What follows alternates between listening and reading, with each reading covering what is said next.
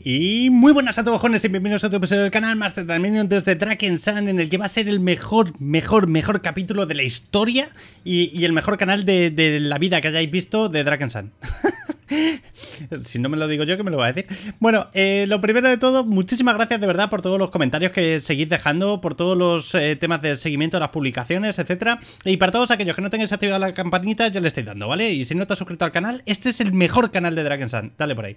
Eh, a lo que íbamos.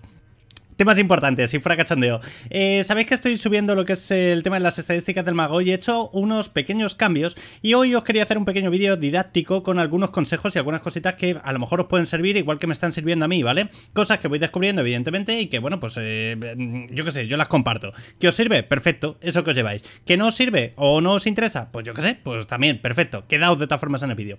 Eh, al final de todo os voy a decir una cosa espectacular, que creo que os va a servir un montonazo y yo qué sé, si no lo tenéis pues otra cosilla más que os lleváis. Yo qué sé, yo por dar datos. Eh, temas importantes. Estas son las estadísticas que tengo ahora mismo con el mago. Están un poco camuflados los daños básicos, ahora lo vais a ver, ¿vale? Porque no tengo puestas las gemas en, lo que es el anillo de valor. Ahora os explicaré por qué. Y bueno, pues básicamente porque vamos a hacer un poco de subida de gemas para que veáis cómo lo hago. El tema de ataques por segundo, el valor crítico, la velocidad de movimiento, todo eso lo he subido. Pero más importante que todo eso, la armadura y resistencias elementales. Vale. Me habéis dejado en muchos comentarios lo del tema de los puntos de vida. No descuides la vida, sube la vida, etcétera, etcétera. Bien, no estoy buildeando vida como tal. ¿Por qué no estoy buildeando vida? Porque aunque viene muy bien en mi caso concreto, porque utilizo lo que es el tema del emo mago con el tema del guardián, y cuanta más vida tenga, más porcentaje de vida, eh, no porcentaje, o sea, más puntos de vida por segundo recupera el guardián, ¿vale? Porque básicamente ahora mismo estoy recuperando 56.241 puntos de vida por segundo, ¿vale? O sea, eso está pegando ahí rampazos de 56.000 al margen de lo que es esa mejora, sí que es cierto que yo, aunque tuviera un millón de vida, dado que no tenía armaduras y no tenía resistencias, a mí de cada golpe me reventaban. Y ya está. Y no había más que hacer, ¿vale? Entonces, he estado cambiando un poquito lo que son esas armaduras, esas resistencias, y las estoy subiendo a base de modificar la sabiduría. ¿Vale? He quitado los puntos que tenía en la parte de poder creciente porque realmente a mí me están suponiendo unos 5.000, 6.000 puntos de daño más o menos. Estaba en 250.000, ya habéis visto que ahora mismo estoy en 242.500 falsos. Ahora lo vamos a cambiar eso. Pero eh, lo más importante es que me he subido puntos en Comuna Piedra y Protección Elemental, 26 puntitos a cada uno. Y esto me está dejando el personaje en una media de 25% más o menos de resistencias y la armadura en un 26,14. Digo media porque tengo el fuego en 21,77 pero luego después tengo el rayo en 34,53. Así que al final sobre todo cuando vayáis en grupo, como eh, las resistencias de cada uno de los elementos del grupo ah, va a hacer que en un momento dado, si lleváis un mecánico a vapor o de resistencias a una habilidad, si lleváis un mago va a dar resistencias a otra, etcétera, pues al final más o menos os lo va a compensar y vais a ir bastante bien. Entonces, como os iba diciendo, eh, qué más cosas estoy haciendo para poder mejorar el personaje y por qué está subiendo tanto en tan poco tiempo, entre comillas. Bueno, pues básicamente estoy haciendo evidentemente el tema de runas, estoy mejorando todo lo que son las gemas, que ahora mismo las vais a ver por aquí, que bueno, pues eh, prácticamente ya todo lo que tengo son reales o trapezoidales, excepto en el sello caótico, que ahora eh, le vamos a dar un tiento a eso, ¿vale? Eh, utilizo el set de Rosan, ¿vale? Lo que es el círculo más el tema de la senda de Rosan. Y me habéis dicho muchos, tío, pero ¿por qué estás utilizando el set de Rosan si es una mierda, tal, no sé qué? Pues precisamente por el tema de lo de la vida, ¿vale?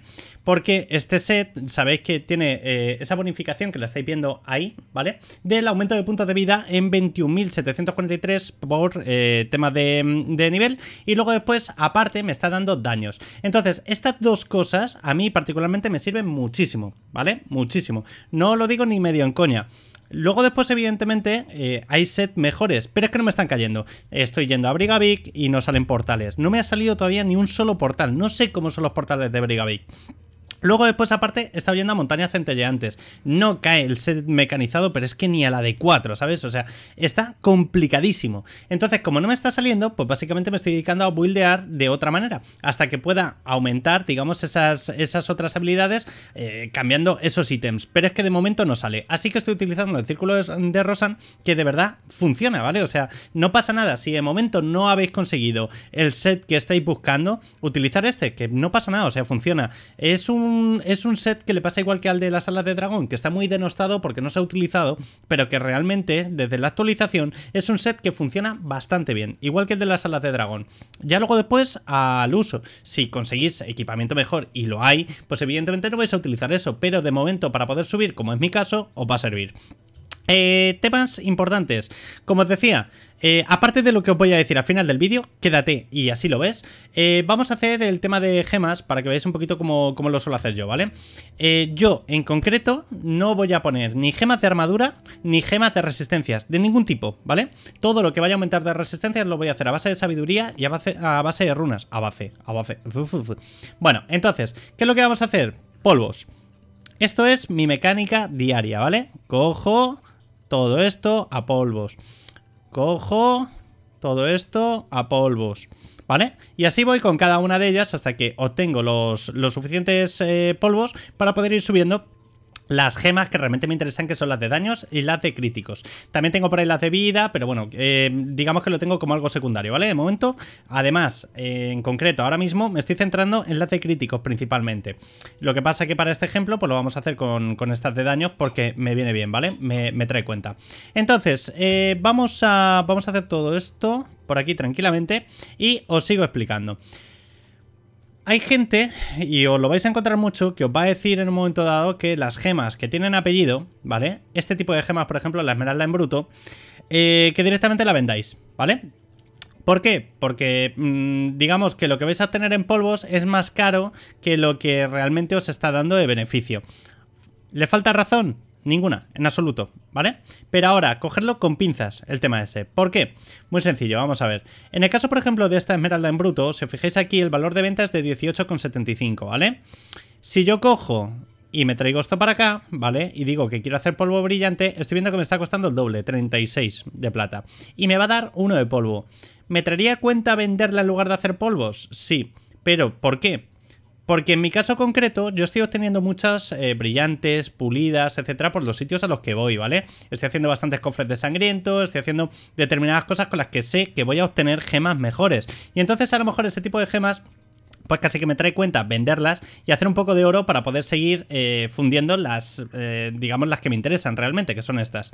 Pero, ¿qué es lo que ocurre? Que si vosotros estáis subiendo el personaje, no tenéis acceso a ese mm, tipo de sitios, pues evidentemente no va a traer nunca cuenta el tema de, de venderlas, o por lo menos bajo mi criterio personal, creo que no sale rentable. Ya luego después, allá cada uno, ¿vale? Pero os comento un poco para que sepáis las dos corrientes de pensamiento que existen a ese, a ese sentido, ¿vale? Porque veáis vosotros qué es lo que os interesa. Esta la voy a fundir simplemente porque es que me interesa mucho el tema de, de poder subirme 7 de estas, ¿vale? Vamos a subir las sagradas 7. A ver si puedo, que no sé hasta dónde voy a poder llegar. 6, 7. Voy a hacer las 7. Madre de Dios, qué grande. Vale, entonces, con estas 7, yo ahora voy a coger, os lo voy a dejar por aquí para que lo veáis, 242.581 y los voy a ir metiendo una a una, ¿vale? Este sello caótico de valores de nivel 135 no es eh, ni mucho menos lo más eficiente, pero sí que es cierto que ya le tengo puestos los hechizos y eso va a hacer que evidentemente pues esto se note un poquito más, ¿vale? No muchísimo, pero algo más. Estamos hablando de que ya vamos por 243.000, 243.000... Seguimos, 243.000, 243.000, ya 244, perfecto. Y me queda por meter dos más.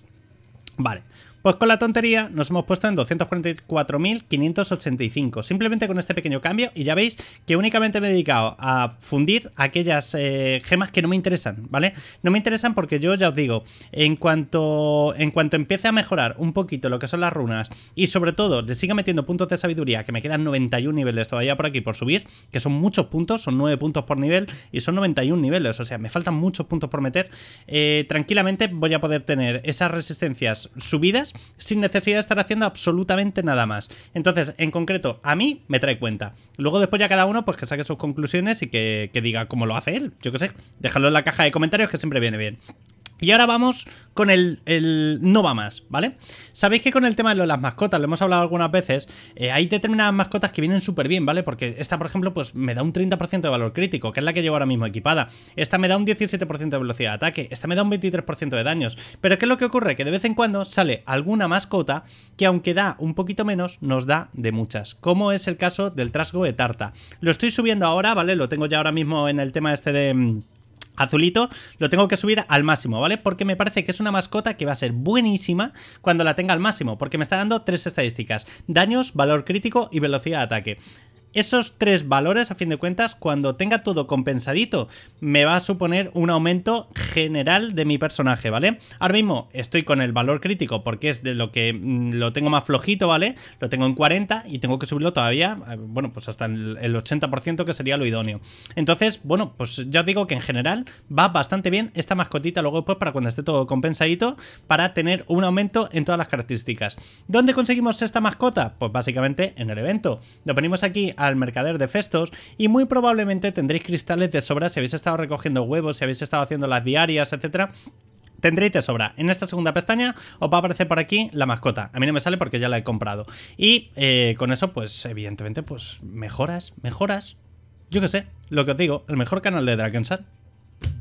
Nos vemos en el siguiente vídeo. Chao, chao.